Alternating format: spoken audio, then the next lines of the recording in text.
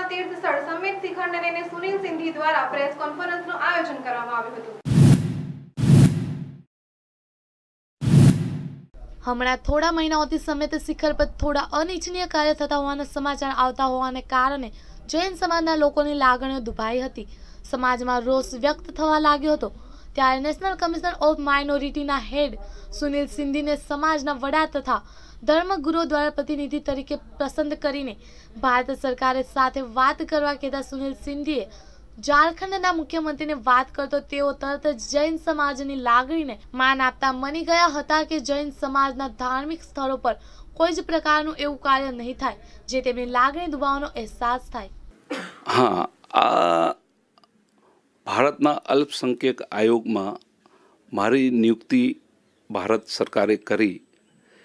એને પછી આ મારું દાયિત્વ બને કે હું માઇનોરિટી બેઝ એની જૈન એટલે અલ્પસંખ્યકમાં આવે છે ને બે હજાર ચૌદથી જૈનોને અલ્પસંખ્યકનો દરજ્જો મળ્યો. આ કારણથી મારે અલ્પસંખ્યક આયોગ વતી મેં અમારા માન્ય મંત્રી શ્રી નકવીજીનો પણ સંપર્ક કર્યો ને એમને પણ મેં આખી ચર- ચર્ચા વિચારણા કરી. એના પછી એમાં સાંસ્કૃતિક મંત્રી મહેશ શર્માજીનો પણ અમે ડેલિગેશન સાથે મુલાકાત કરી. ને આયોગમાં હોવાના કારણે આજે મુખ્યમંત્રી, આજે હું ઝારખંડનો પ્રભારી છું. ને ઝારખંડનો પ્રભારી હોવાના નાતે આયોગના માધ્યમથી અમને તરત સમય મળ્યો.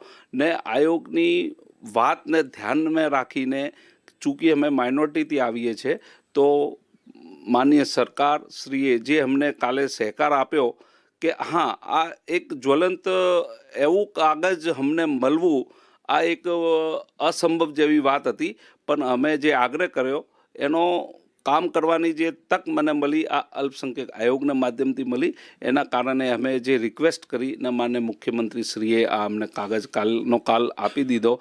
તો આ જૈન સમાજ માટે એનાથી મોટું કોઈ પવિત્ર કાગજનું કામ થઈ નહીં શકતું. તો ઝારખંડ સરકારને હું ફરીથી માન્ય મુખ્યમંત્રીજીને ખૂબ હૃદયપૂર્વક એમનો ધન્યવાદ આપું છું ને જૈન સમાજને ખૂબ શુભેચ્છાને બધાઈ આપું છું. હા, આ એક ભ્રામક પ્રચાર આખા દેશમાં ચાલ્યો થોડાક સમય માટે.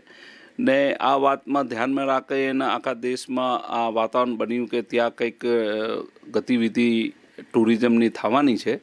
તો મેં સત્તર અગસ્તે માન્ય મુખ્યમંત્રી ઝારખંડ સરકારના એમને સાથે रूबरू में चर्चा करी एमने कीधु कि वहाँ पर ऐसी कोई बात नहीं है वो ते- स्थान पवित्र है और पवित्र रहेगा પછી અમારા આખા દેશના ગુરુ ભગવંતો મને સમાચાર મોકલ્યા કે ભાઈ તમે અલ્પસંખ્યક આયોગમાં સદસ્ય છો તમે ભારત સરકારને રાજ્ય સરકારથી આ વાત કરીને એમનું જે પણ છે એનું આપને સ્પષ્ટપણે ઉકેલ આવી જાય તો મેં પછી ભારત સરકારથી વાત કરી રાજ્ય સરકારની સાથે વાત કરી ને આ નિમિત્તે મેં આનંદજી કલ્યાણજી પેઢીના આપણા પ્રમુખ સમ્યકભાઈથી વાત કરી. એમને મને કીધું કે ભાઈ, એ નિર્ણય આપણે કરવા માટે.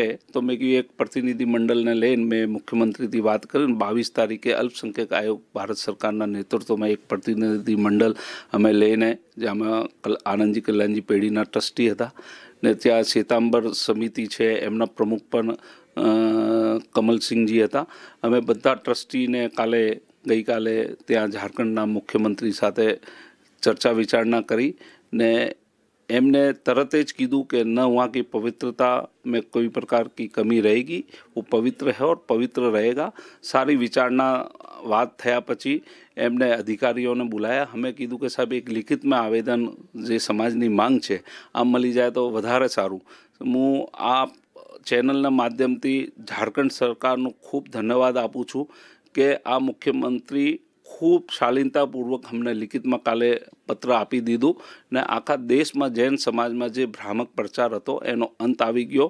આખા દેશમાં ખૂબ ખુશીની લહેર છે કે આ ઝારખંડ સરકાર ને ભારત સરકારના માધ્યમથી જે અમારો એક જ્વલંત પ્રશ્ન ઊભો જેવી રીતે થયો હતો એનું આજે અંત આવી ગયો છે. યોગેશ્વરી રામાનુજ સાથે એનએસ ગુજરાત ન્યૂઝ અમદાવાદ.